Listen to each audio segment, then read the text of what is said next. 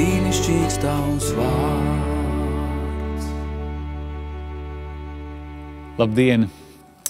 Šodien atkal man ir ļoti tāda svētīga līdzība, kura pamāca mums, lai mēs eh, netiesājam, lai mēs esam tādi patiesīgi un arī atceram, atceramies sevi bērnībā. Un arī reiz bija tāds gadījums, kad tēvs aizved savu bērnu pie savas mātes, un viņš pats uh, aizgāja uz darbu. Un, uh, kad šī vecmāte skatījās šo mazdēliņu, viņš bija ielikts kādu brīdi dzelzceļa gultiņā, kura piederēja agrāk šim, šī bērna tēvam. Viņš arī viņā izauga. Un kaut kā šim bērnam visu laiku gribējās iebāzt galvu starp tām dzelzceļa redelēm. Viņš centās iebāzt, nekādīgi nevarēja. Un tad vecmāma saka, mazliet, nedari tā.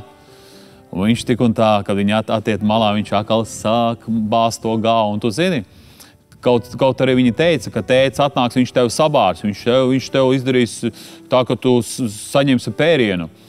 Un viņš tik tā neapstājās. Un tad vienā brīdī viņam tomēr izdevās iebāzt galvu starp tām redelēm. Bet, kad viņš iebāzt to galvu, Viņa mēģināja viņu dabūt laukā, bet nekādīgi nevarēja aust, stipri traucēja. Un tā viņa saka, nu, kaut kur pēc pusstundas jābūt tēvam, nu, tu dabūsi. Un tad, kad tēvs atnāca, viņš ieraudzīja, ka dēla galva vienkārši starp redlēm tur izbāzta. Viņš eh, piegāja ātri tās, eh, tās divas tās eh, dzels, tos divus stieņus. Vienkārši viņš paņēma un, un atplēta vaļā. Un tad bērna galva bija laukā. Viņš paņēma viņu uz rokām un, un sāka viņu tā laipni runāt un mīļi viņu tur nesāt. Un, un, un kad māte to skatīja, viņa saka, klausies, dēls! Ko tu dari? Kāpēc tu viņu nesarāji? Kāpēc tu eh, nedod viņam pērienu? Es viņam daudzreiz teicu, ka nevajag viņam to darīt. Viņš eh, tā neko neatbildot, piegāja pie tās dzelzceļa gultiņas, un tur bija spilvens pie redzelēm nolikts. Viņš paņēma, noņēma to spilvenu nost, un tur bija vēl viena vieta, kur bija redzelis, bija atplēsts vaļā. Un tad māte atcerējās, ka bija, bija laiks, kad arī šis dēls arī bija iebāzts galvu, un nāca viņa tēvs un plēta vaļā tās, tās redeles. Tad, tad viņam nepacēlās rokas izsaukt dēlu. Kāpēc? Tāpēc, ka viņa dzīvē bija tāpat. Un bieži vien mēs pamanām mūsu dzīvē, ka mēs kādu notiesājam, mēs kādam kaut ko sakam, un tu zini, iekšā kaut kas tā kā, tā kā noskan. Bet vai tu pats, mēs bieži vien arī bērniem sakām, nu, kāpēc tu, tu nevari saprast tur kaut kādā mācībā, nu, kā tu.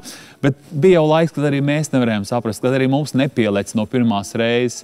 Un, Bieži vien tas notiek mūsu dzīvē. Protams, mums ir jāmācās, mums nav jāapstājās. Mums nevajag tagad uh, apklust. Un tagad, ja es biju tāds, tad tagad uh, es klusēšu, neko savam bērnam neteikšu. Bet uh, tālākā mūsu dzīve lai mēs neesam tomēr pārsteidzīgi uz tiesāšanu, jo e, tas rodas no tā, ka mēs esam ļoti perfekti, ka mums viss ļoti izdodas, ka mums šodien ir iespēja palielīties gan Dievu priekšā, gan cilvēku priekšā, ka tiešām mēs esam ļoti tāds, kurš cenšas pildīt Dievu vārdu, kurš ļoti tā e, cītīgi visu dara un tādā veidā sāk augt e, pats savās acīs. Un te rakstīts ir, Tad nu tie uzstāja viņam ar savu jautāšanu, viņš pacēla galvu un sacīja: Kas no jums ir bez grēka, tas lai pirmais met akmeni uz viņu?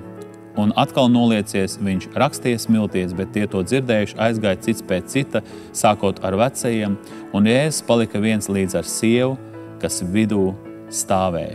Mīļais Dievs, es ļoti pateicos Tev par šiem te piemēriem. Paldies, dārgais Dievs, ka mēs šodien varam dzīvot mīlestībā, dzīvot mierā. Paldies, dārgais Dievs, ka mums tagad ir citas brīvības, uzliktas mīlestības brīvības, ka mēs varam caur šo prizmu skatīties, Dievs, caur uh, to arī, kas bija mūsu dzīvē noticis, un ka Tu mums esi tik daudz piedevis, Dievs. Paldies Tev!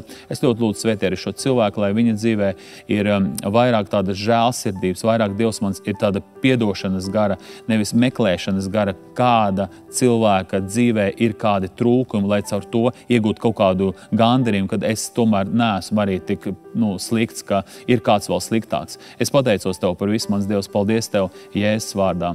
Āmen! Uz redzēšanos!